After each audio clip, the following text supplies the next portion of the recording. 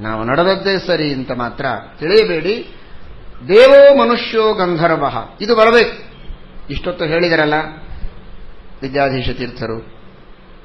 ಇಪ್ಪತ್ತೆರಡೂವರೆ ಗಂಟೆ ಟಿವಿ ಮುಂದೆ ಕುಳಿತು ಒಂದೂವರೆ ಗಂಟೆ ಪ್ರವಚನ ಕೇಳಿದ್ರೆ ಏನು ಲಾಭ ಅಂತ. ಬಿಡಿ.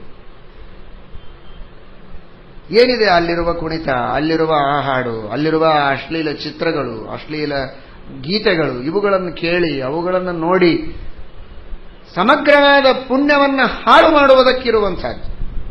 ಎನ್ನೌರಜಂತ್ಯಗವಿದ ಅರಚನಾನುವಾದ ಶೃಣ್ವಂತಿ ಯೇ ಅನ್ಯ ವಿಷಯ ಕುಟಥಾ ಮತಿಘ್ನೀ ಯಾಸ್ತು ಶ್ರುತಾ ಹತಭಗೈ ನೃಭಿ ಆತ್ತವೀರ್ಯಾ ತಾಹ ತಾನ್, ಕ್ಷಿಪಂತಿ ಅಶರಣೇಶು ತಮಸ್ಸು ಹಂತ.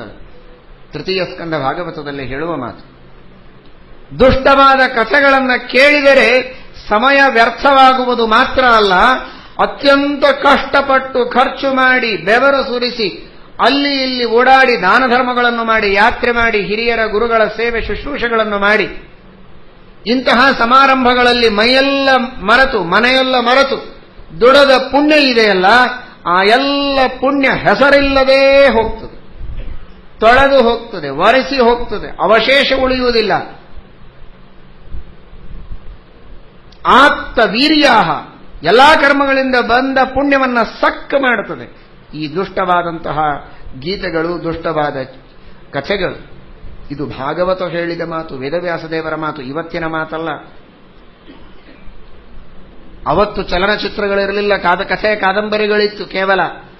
ಅಂತಹ ಕಾಲ್ಪನಿಕ ಕಥೆ ಕಾದಂಬರಿಗಳಲ್ಲಿ ಆಸಕ್ತರಾದರೆ, ಈ ಹಣೆ ಬರಹವಾದರೆ, ಸಮಗ್ರವಾದ ಮನುಷ್ಯನ ಮಾನಸದೊಳಗಿನ ಇನೋಸೆನ್ಸ್ ಅನ್ನ ಕಿತ್ತೆಸೆದು ಸಂಪೂರ್ಣವಾಗಿ ಕಾಮಕ್ರೋಧಗಳ ಧಾರೆ ಎರೆಯುವಂತಹ ಇವತ್ತಿನ ದೃಶ್ಯ ಮಾಧ್ಯಮದ ಈ ಅಶ್ಲೀಲ ತಾಂಡವದ ವಾರ್ತೆಯನ್ನ ಭಾಗವತ ಕೇಳಿದ್ರೆ ಇನ್ನೇನು ಶಿಕ್ಷೆ ಕೊಡ್ತಾ ಇತ್ತು ಯಾರಿಗೆ ಗೊತ್ತು? ಬೇಡ. ಇವತ್ತೇ ಬಿಡಿ, ಯುಗಾಂತ್ಯ, ಇಷ್ಟು ದಿನದ ಏನೆಲ್ಲ ಈ ದುಷ್ಟ ಪ್ರವೃತ್ತಿಗಳ ಯುಗ ಇತ್ತಲ್ಲ, ಇದರ ಅಂತ್ಯ ಇವತ್ತೇ ಮಾಡಿ. ನಾಳಿನಿಂದ ಹೊಸ ಯುಗದ ಆದಿ. ಅಧ್ಯಾತ್ಮ ಯುಗದ ಆದಿ